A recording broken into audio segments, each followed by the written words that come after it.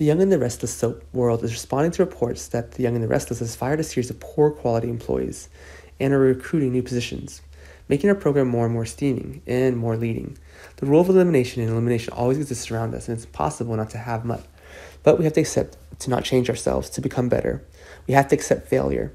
Josh Griffith always is extremely strict life decisions, so our essential writers are extremely difficult than Mal Young.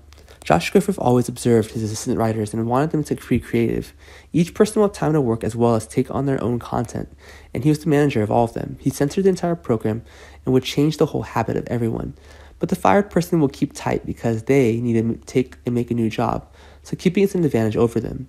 Josh Griffith always respects his subordinate colleagues and wants them to change for the better. Person with such qualities is never going to be fired. He was always trusted by the bosses and the audience his writers' council appreciated. Sara Bibel was the only one who voiced and admitted to being fired, and he said that he was overwhelmed with the intensity of his work as well as Johnny's too good attitude. So he deserves to be fired because he can't follow these goals, nothing.